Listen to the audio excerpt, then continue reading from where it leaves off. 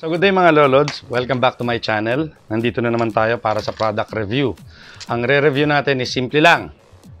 Banana plugs ng Nakamichi.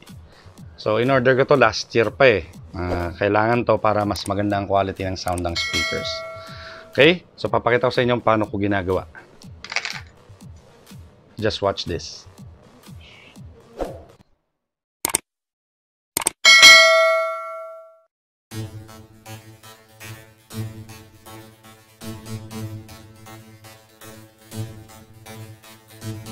Lods, nandito nga tayo para sa product review nung Nakamichi banana plugs. So, the purpose of this video, kasi nag-search ako sa YouTube, wala akong makitang specific para dito sa banana plugs na Nakamichi. Kasi, isa to sa pinakamagandang nakita kong banana plugs para i-connect yung mga speaker cable sa speakers nyo. Uh, maganda kasi sa kanya is i-terminate mo yung speaker cable dito tapos ito na i-connect mo sa speaker terminal. Okay? So papakita ko sa inyo kung paano ko ginagawa. Actually kamali nga ako ng gawa nung una. Ngayon papakita ko kung paano. Bi-video ko rin. So ang ginawa ko nga kasi nung una is ipinasok ko yung cable dire-diretso hanggang dulo. So dapat pala Ayan, makikita nyo naman, tatanggalin ko. Uh, yung copper, nandito sa dulo nakakabit sa tornilyo. Ang mali ko, tinusok ko siya ng todong-todo hanggang dito sa area na to. Na dapat, uh, hindi siya naka nakadulo siya pero dapat naka-hold siya nung screw. Okay, so kung babaklasin ko ngayon tong isa, let's say itong isang Nakamichi, ang pagbaklas niya, pag ganyan lang. Simple lang naman. And then, tutulak nyo palabas na to. So, ayun na yun. Pag natanggal nyo na to, meron siyang maganda rito sa Nakamichi banana plugs is meron siyang dalawang screw. And these screws, you need to unscrew it para ma-connect nyo itong cables. Okay, so mamaya pakita ko sa inyo, tanggalin ko muna to. Uh, magba back to scratch tayo kasi mali nga yung gawa ko rito. Kaya inulit ko. Uh, pakikita ko sa inyo yung spot detail kung saan ako nagkamali. Kasi kapag maganda yung bigay ng sound, minsan pumipiyok kasi itong copper line na to nagbabibrate. So much better, hindi siya dapat nagba-vibrate. And the best thing to do, makikita nyo, ayan yung una, kasi nga 'di ba, meron siyang screw hole sa back, meron siyang screw hole sa front. So hindi siya magkapantay. Ayan, ito yung isang screw hole, ito naman yung isang screw hole. So hindi siya magkapantay. So pag tinignan nyo to, ayan yung isa, ito naman yung isa. So ang gagawin natin ngayon, puputulin ko na to completely para gumawa na lang ng bago. By the way, if you're going to ask what is this black uh, cable is, this is a shrinkable tube. Nabibili siya, mura lang yan guys. And then, this one. By the way, ang gamit ko nga palang cable is number 14, oxygen free. Mas maganda yung oxygen free because oxygen free bihira, bihira siya magkaroon ng ano, tawag doon, dumi. But in this scenario, medyo matagal na rin kasi to. Linisan nyo lang yung ganyan para lumabas uli yung copper. Kasi copper pa rin ang isang best conductor when it comes to electricity or sound. Then of course, kailangan nyo ng basahan para mapunasan pa yung ibang umido. So, ganun lang kasimple. Make sure kapag bumili kayo ng speaker cable, copper talaga. Kasi yung iba, laminated copper lang. Pag tinignan nyo yung loob, sa, sa ano siya, nagiging tanso. Ah, ano, yung tawag nun, silver na hindi naman copper talaga. So, yan. Kita nyo, ilang beses ko nang ina, inano ng gunting. Copper pa rin siya, hindi siya nagbabago kulay. So maganda yung quality nitong cable na to. So i, i ano nyo lang, twist nyo lang uli yung wire na clockwise and then pasok nyo to. So the first thing you need to do is put back the screw. Ang ginagawa ko, kung makikita nyo, ayun na yung copper, kita na sa butas. Yung dati kasi tinunusok ko siya sa dulo, hanggang dito sa dulo. Cover pala yung to paring part na to ang kinakapitan ng screw yan, parang ganyan. And the best thing to do, adjust nyo siyang konti. And then, para yung copper ang kakapitan itong unang-unang screw, yung front screw. Be careful lang kasi ang bilis ma-loose thread nitong screw or yung mismong kinakabitan niya. Uh, always you uh, screw the front hole muna kasi mas magandang secured na yung copper wire. So while we're doing this, uh, ipopost ko siguro sa upper left yung pinag-orderan ko nitong ano, Nakamichi banana plugs. And then of course, kung magkano siya, lalagay ko na rin. Parang karoon kayo ng idea. Ang in-order ko kasi is straight at saka L. Mamaya papakita ko sa inyo yung difference ng straight at saka ng L. So this is the first part. So kung makikita nyo, snug fit na kagad dyan. Copper pa lang yung naka-screw nyan. Ngayon, para mas snug fit yung cable, mas matibay ang kapit, yun namang may cover na to, ang screw natin. Be careful na pag kayo nag-screw nga pala. By the way, ang kailangan nito flathead screw. Hindi pwedeng precision, masyadong maliit. So, yung second, ano na yung pinakamaliit na ganito, ang gagamitin nyo. Mas mainam nang nakaganito kasi pag dumulas yung screw, ilang beses na ako nasugatan kasi guys, sobrang tulis ng screwdriver. Kailangan nyo siyang i-push ng todo. Kasi pag hindi nakapasok yung head, may tendency bumara. So, ang ginawa ko, since this is yung may black line, yan yung negative ko. Pansinin nyo guys, kahit na maganda nga rito sa Nakamichi is, hindi mo kailangan ilagay dito, to, kasi papasok mo lang siyang ganun, okay na. Kasi yung mga iba, like for example, yung monster cable, kailangan mong ikabit muna to, tong outer shell. Saka mo palang mailalagay yung inner shell. Yun ang difference na nakamichi kaya mas maganda to and then yung quality niya gold plated mamaya papakita ko sa inyo yung spot detail niya spot picture niya para magkaroon kayong idea. Okay. So be careful din mawala yung mga screw na to malaglag kasi napaka hirap hanapin pag gumulong na yan. So papakita ko lang ulit sa inyo. Yan papasok. Hindi kailangan ng diretso sa loob ng todong todo ang importante magkaroon siya ng good connection dito sa terminal so ayan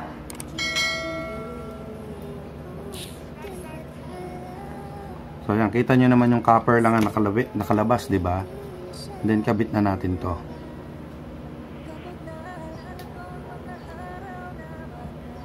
Kahit lalaki o babae, bakla, tomboy, kayang gawin to guys. Simpleng-simple lang naman. Ang ganda kasi rito is napakabilis na ng connection mo. Ko-connect mo na lang. Mamaya papakita ko sa inyo paano i-connect sa speaker terminal. So, yan na siya. snug fit na rin kagad kahit di ko pa inigpitan tong nasa back, back part so dahil nga mahirap pagka dumulas yan mahirap magsugatan So while I'm doing this, shoutout ko na yung cluster namin, Cluster Direct. Sp uh, bibigyan ko lang ng shoutout siguro yung team ni TC Roda na nag-accept sa akin for two consecutive Thursday dahil nakalib si TC Roda. Shoutout sa inyo buong team Roda. Thank you very much for accepting me in your team. Then shoutout sa buong cluster direct nga speci uh, bigyan ko lang ng special mention ng brother Kai ko, si brother Kai. So brother Kai, shout out sa iyo. May video ka na naman papanood. So, ito makikita nyo rin. Mali rin to kasi pareho nga to. Kumunik yung dalawang screw sa outer dito sa shell sa sleeves ng speaker cable. So make sure na uulitin ko nga rin to para mas maganda ang connection nung ayan o, oh, pansinin nyo, ayan yung front screw, ito yung back screw. So hindi tumama rito sa copper. Ang, ang gamit ko nga pala na kaya ko ginagamitan nitong ganito kasi karamihan ng terminals ng speakers ko puro banana plug capable na kung bibili kayo make sure na yung terminal mas maganda naka banana plugs. Ngayon, kung aas nyo yung Bose, wala akong nakitang Bose na naka banana plugs. Kaya, ang gamit nung sa Bose is, ano lang, spring loaded. Checkin natin kung nag-continuous. Okay, good. So, ang gagawin nyo lang, ulit tayo, back to zero. Uh, make sure guys na kapag pumutol kayo sa speaker terminal, uh, speaker cable, uh, ito kasi ginagawa ko, dapat kung spring clips ang gagamitin nyo at least uh, 1 cm ang layo. Eh since ito naman gagamitin ko sa banana plug almost ano lang almost 10 cm ah 10 1 cm 10 mm so linisan mo na rin para siguradong magandang grounding nung ano mo conduction ng speaker cable mo. Ganyan lang. Wala pa kasi tayong pambiling mamahaling speaker cable. Yun lang yun. In other words. So then of course ikot natin. Then isa ulit pasok. Lumabas na yung copper. Halos boundary yung tawag dito. Naka-boundary yung cover, speaker cover speaker wire cover then kabit. Then screw. Maraming mausi pero akong gamit ko isang screwdriver. Gunting lang. Mas tansyado ko kasi paggupit. So kita nyo, tibay na rin niya. So yung copper yon then yung cover na nung speaker wire para mas matibay ang kapit Uh, wala kasi yung nakita talaga sa YouTube na nag-vlog kung paano magkabit nitong terminal, speaker terminal or banana plug ng Nakamichi, specific to Nakamichi. So ako na lang ang nag-volunteer na gumawa nito. Yung mga audio file kasi, marami sila, madalas ang gamit nila is yung mga branded. Like for example, Monster Cable na nagkakalaga ng 3,000, 4,000 yung atin magugulat na lang kayo sa presyo pag nakita nyo kung magkano lang to. Okay so ayan na.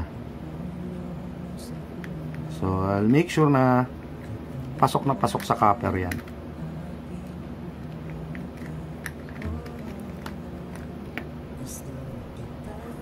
So snag fit na rin yung copper. Maganda na connection yan uh, siguro hindi ko na mapapatugtog yung speaker. Baka mamaya sumobra ng haba. Maganda na yung magkaroon lang kayong idea kung paano magkabit nitong banana plugs coming from Nakamichi.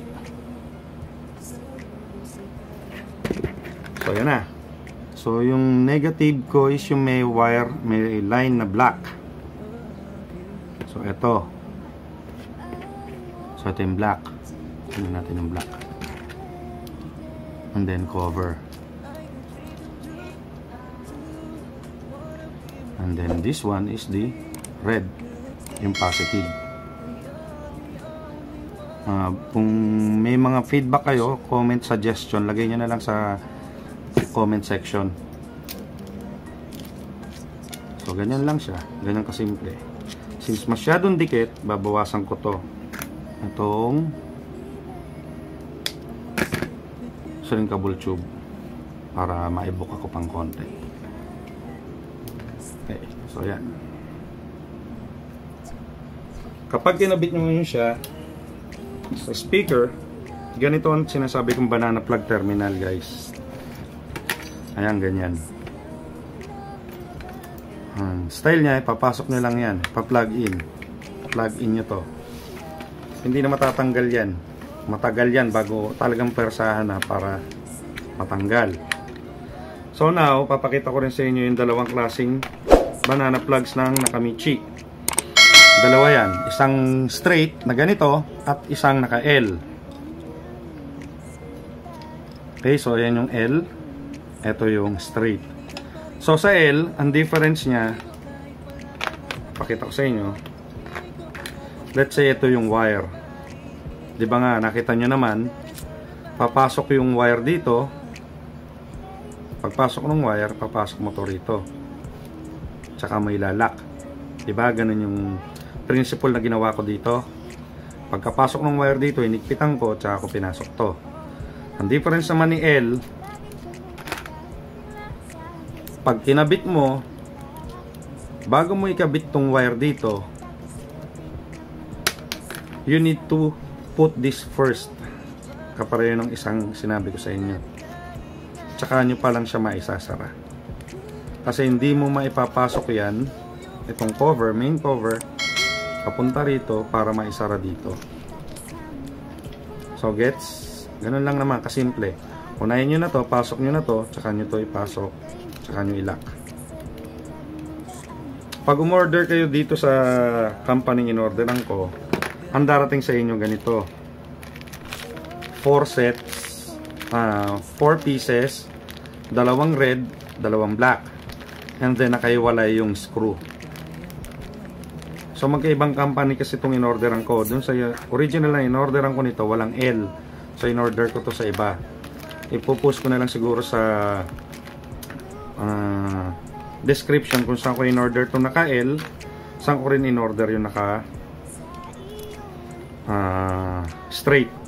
By the way, hindi mo siya hindi ko lang sure at try natin kung pwedeng pagpalitin yung housing. Mukhang hindi. So, hindi kasya tong pang straight dito sa naka-L. Kasi mas maliit na yung butas nito. By the way guys, itong ginamit kong to is yung gamit ko sa surround. Uh, surround speaker to ng Yamo. SB200. Okay? And then, for this cable, kung ginawa kong to guys, para to sa center speaker ko. Uh, niredo ko lang kasi mali nga yung gawa ko. And then, of course, lahat ng sablay kong gawa, niredo ko na rin. Ito para sa front left and front right at saka yung siguro sa surround left at surround right, surround back left, surround back right. Ulitin ko rin yun kasi puro naka, ano yun, naka mali ng connection. Okay? Now, punta na tayo sa shout out portion. Tabi natin to. Unang sa shout out ko is yung team ni Utol. Gusto raw niya, unahin ko yung team niya. Team Lobel. What? So, under ng Team Lobel, si Foklet, si Ronichi, si Sherwin, si Ken, si James, si LD, si Ramon, si Shandy, si Brother Johnny, at saka of course yung pinakabata sa cluster na yon si Mike Buendia na ngayon palang tinutubuan ng buhok. Then si kumparing Marlon Medina, TJ Tansio, kay TC Bell ng CSQA, Cluster Direct, team ni TC Roda nga. And then of course, Brother Kai, sa asawa ko, kay Darling Beng. Of course, mga anakis ko na si... Sino nga ba yung mga anak ko? Nakalimutan ko. dami nila. So, si LA, si Ken, na nagmamanage siya ng paprint po. And then, si Louie at si Nudge. Of course, yun sa dalawa kong apo na si Arya at Luis. Yung kapatid ko, si Special Child Lobel. sa husband niya, si Marvin. Wow, ganda ng pronoun... Tol, ganda ng pronunciation ko ng name mo, ha? Pakita ka, tol! And then, si Sunny JJ. Oh, yan ang utol ko, si Jay. And then, Si Sunny JJ.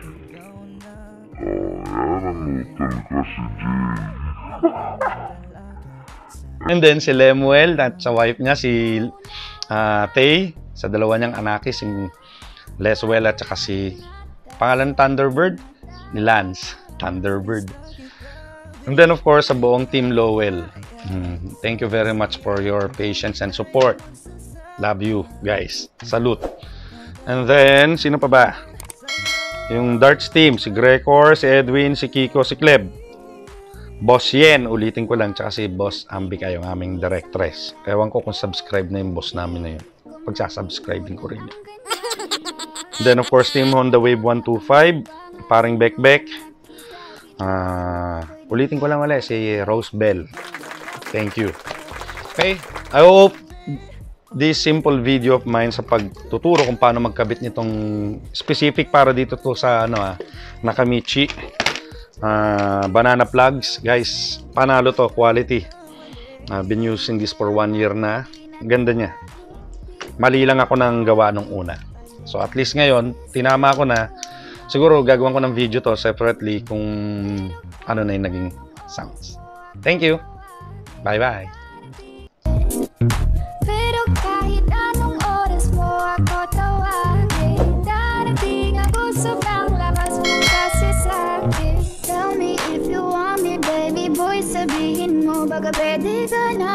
mapasakin Kung gusto mo sa piling Pauwi na